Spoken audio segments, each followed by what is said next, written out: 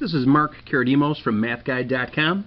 We've got a problem today, and the problem is called spinning wheels. Which two have the same probability of occurring? A. Spinning to a blue space. B. Spinning an even number. C. Spinning a number greater than 5. Or D. Spinning to a pink space. Okay, I'm going to give you a chance to uh, pause the video and then we'll come back and explain what the solution is.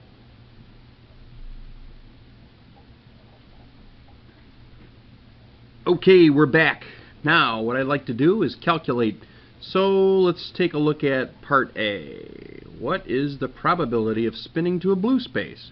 Well, it turns out that there are eight spaces, and of course we're going to assume that each one of these spaces is equal, so there's an equal likelihood of getting any one of these spaces, and if we ever do spin on a line, it's a respin. Keeping that in mind, it looks like there are three blue spaces out of eight total. So there's three favorable outcomes out of eight total possible outcomes. So 3 eighths looks like it's the correct answer. Alright, B, spinning an even number. Well, it looks like there's two, four, six, eight. There are four favorable outcomes, four even numbers that is, out of eight total, which is one half. So there's about a 50% chance spinning an even number.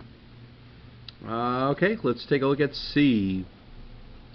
Spinning a number greater than 5. Well, let's see. Which numbers are greater than 5? 6, 7, and 8. There are three numbers, three favorable outcomes, three numbers that are greater than 5 on this wheel. So 3 out of 8. And let's see, there's D spinning to a pink space. Well, there are no pink spaces. Yep, that's red. So there's no pink. There's no favorable outcomes out of 8 total, or a 0% chance. Alright, so it looks like the two that are equal are A and C. A and C have the same probability of occurring. Go back to mathguide.com and check out more Problem of the Day videos. Take care.